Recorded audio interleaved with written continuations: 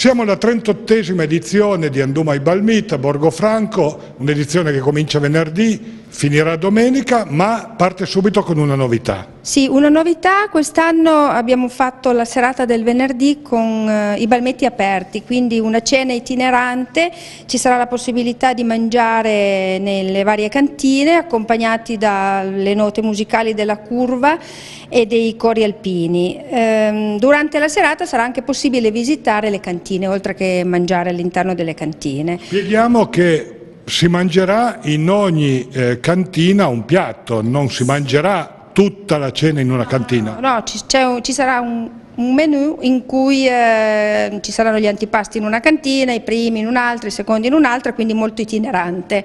E appunto girando in questo modo sarà possibile visitare più balmetti, più cantine. Eh, se per caso, in caso di mantempo, eh, vabbè, eh, ci sposteremo nel padiglione se proprio non riusciamo, però insomma speriamo di riuscire a fare questa nuova manifestazione che abbiamo organizzato quest'anno per la prima volta. E poi si riprende sabato nel segno della tradizione. Sabato ci spostiamo nel padiglione, ci sarà una cena a base di sweat grease, oltre a tutte le arie piatti alla griglia, e mm, una serata danzante con l'orchestra spettacolo Luigi Gaglia. Eh, domenica mh, mm, sempre pranzo al padiglione con la sui Padaiuche e poi al pomeriggio mh, mm, possibilità di visitare i Balmetti accompagnati dal gruppo musicale del quintetto degli Amis d'Albian e visite guidate dove sarà possibile mm, insomma, eh, gustare prodotti locali offerti dai proprietari delle cantine. Eh, in, altri in altri angoli dei balmetti ci saranno i cori alcuni cori alpini che cantano. E... e poi gran finale per la serata. Con la cena sempre al padiglione e serata danzante con i Blue Marine al, sempre al padiglione.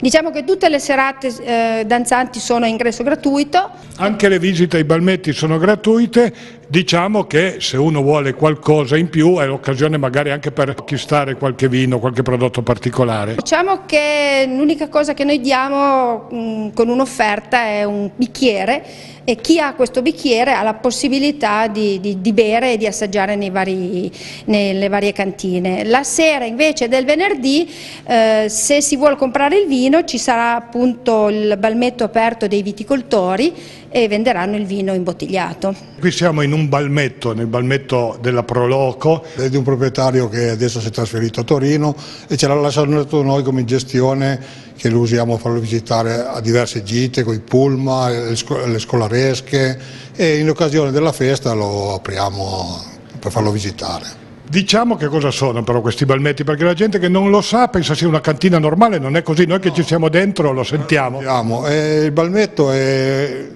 c'è un'area naturale che sorge dalla montagna, dovuta negli anni indietro da una frana, la chiamano frana morenica, si sono formati dei cunicoli che esce quest'aria fresca che è costante tutto l'anno, dai 10 ai 12 gradi, vale qualche balmetto e tutto l'anno, perciò quando fuori c'è 35 gradi, logicamente con 10 gradi qua dentro si, si sta bene, diciamo. E qui matura il vino, ma non solo. No, anche i formaggi, i salumi. Una volta diciamo che era il ritrovo de, dei contadini del paese, una volta l'unica cosa che avevano erano i balmetti.